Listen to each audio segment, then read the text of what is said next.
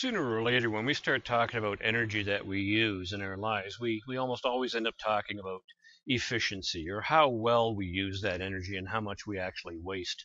I can remember back to when I was a kid, my sister got a Kenner Easy Bake Oven, and, and here's one here. They're collector's items now. But uh, how she cooked her food, and, and this little oven would make muffins and things like that, and how it did it you might get a hint in here. It actually used uh, an incandescent light bulb because, as it turns out, incandescent light bulbs actually generate a tremendous amount of heat uh, compared to the amount of light that they make. So if you look at this chart here, you can see that we have a choice in different kinds of light bulbs these days. Here's the old-fashioned standard incandescent.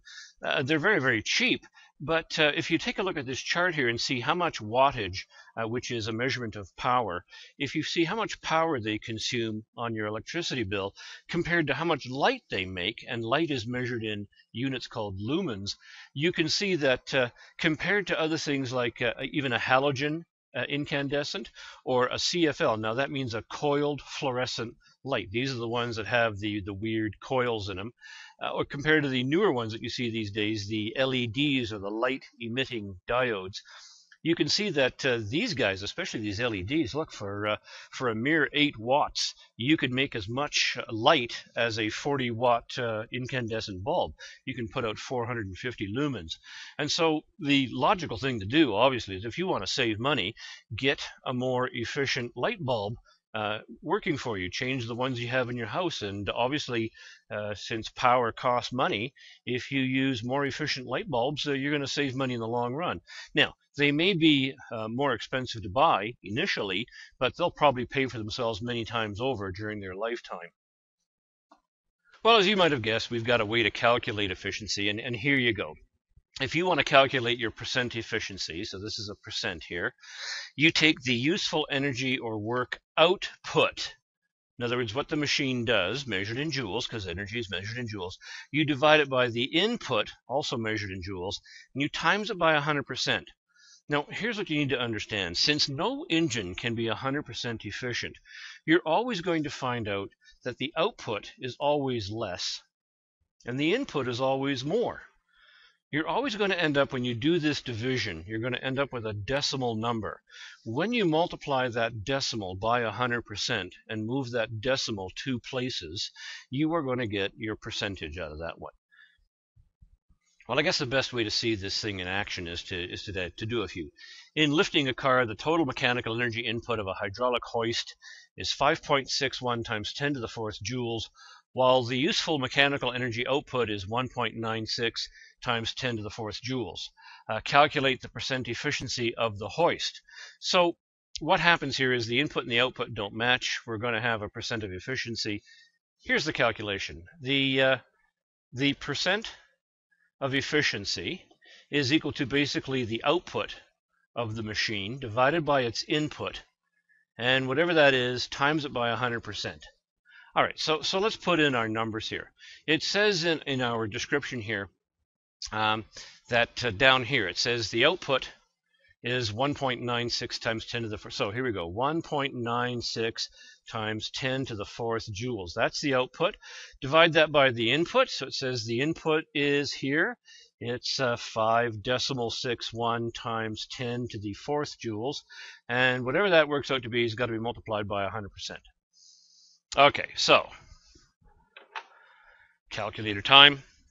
We're going to take 1 decimal uh, 96 second function EE fourth power, and we're going to divide that by 5 decimal 6 1 second function EE fourth power, and what do we get?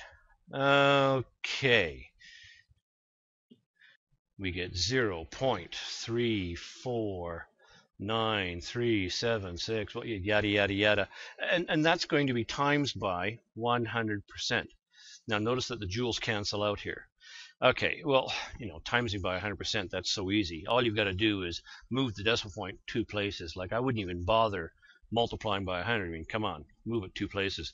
You get 34 decimal nine three seven six one one yada yada percent. Uh, okay, obviously this number can't go on forever. If we look back on our data, we've only got three significant digits. So we're going to have to cut this off at 3.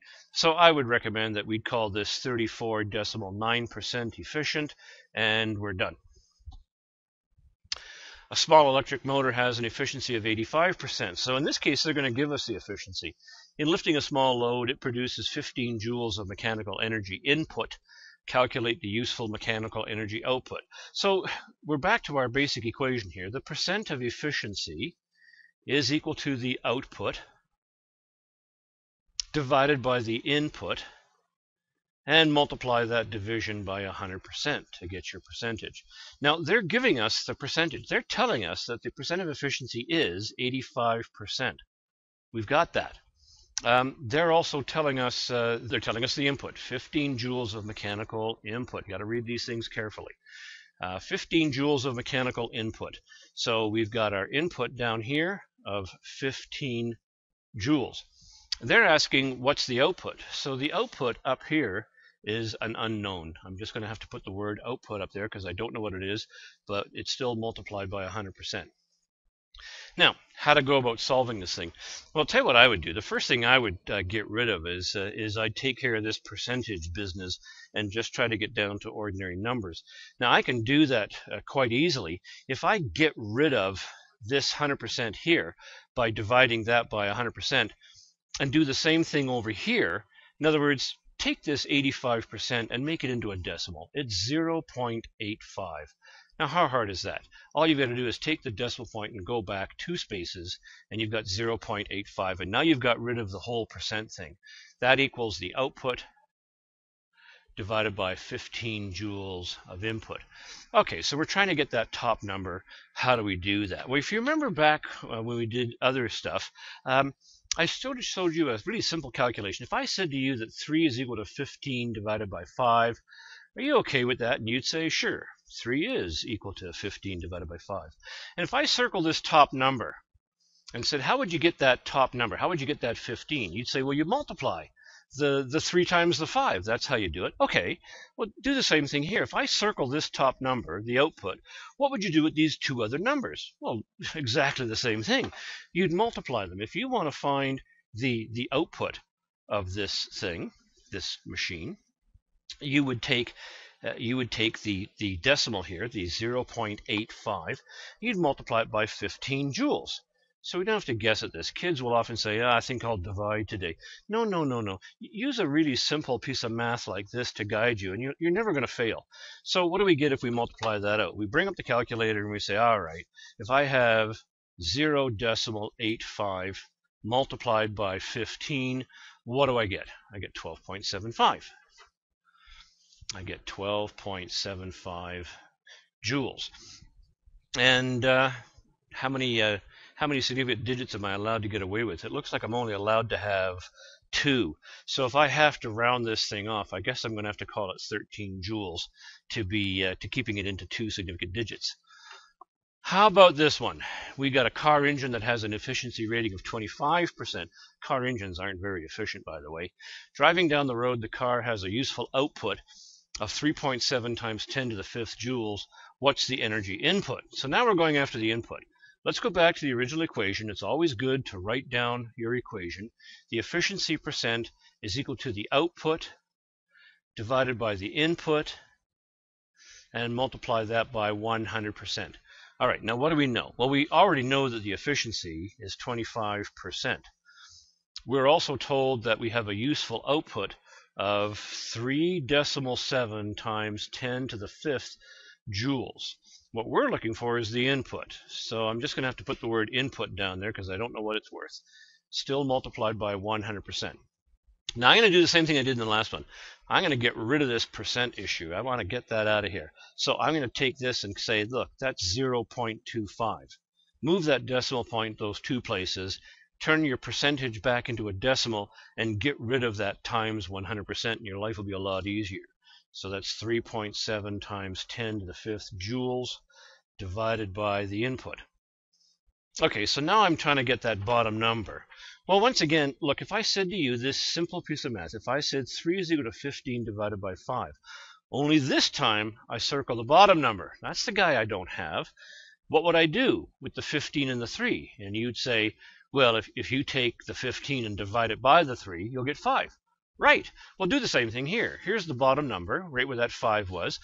What do you do in this setup? You do, you do precisely the same thing you did in the simple one. If you want to find the input, right, if you want to find the input, that, that bottom number that you see right here, you're going to take the top number, which is the uh, 3.7 times 10 to the fifth joules, and you're going to divide it by that uh, decimal, which is uh, the 0.25. Let's see what you get. Um, okay, so 3 decimal 7, second function, uh, EE.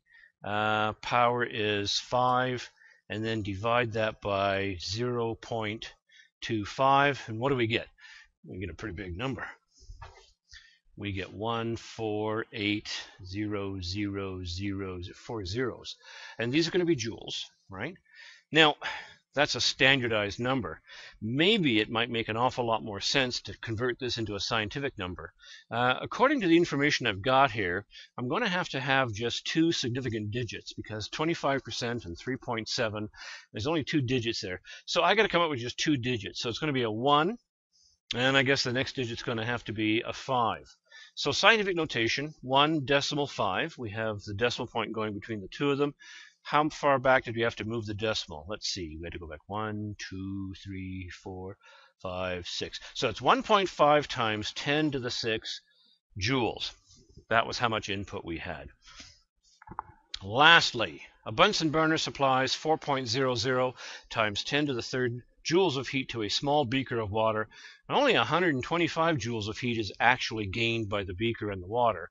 Calculate the percent efficiency of the burner. Well, it's going to be pretty small, that's for sure, because 125 joules out of 4.0 times 10 to the third ain't much. So here we go. Efficiency percent is equal to the output divided by the input multiplied by 100%. Okay, so what do we know? Well, we're trying to calculate the efficiency percent, so that stays. The, uh, the output. Well, what it really did that was useful is it put 125 joules of heat into the beaker. It wasn't much. The input, however, was pretty big. Uh, the Bunsen burner put in 4.00 times 10 to the third joules, multiplied by 100%. Okay, so there's our setup calculator time. What do you get if you take 125 joules and you divide it by um, 4.00 second function EE third power. Uh, what do you get for that? Uh, you get uh, you get 0.03125 still multiplied by 100%. Well, multiplying by 100% is a snap. All we got to do is take the decimal point and go 1, 2. So it's 3.125%. Uh, and then lastly, how many significant digits are we allowed to have? Looks like we're going to have to have only three. So I will therefore say the answer is 3.1 and round off 3.13% to three significant digits.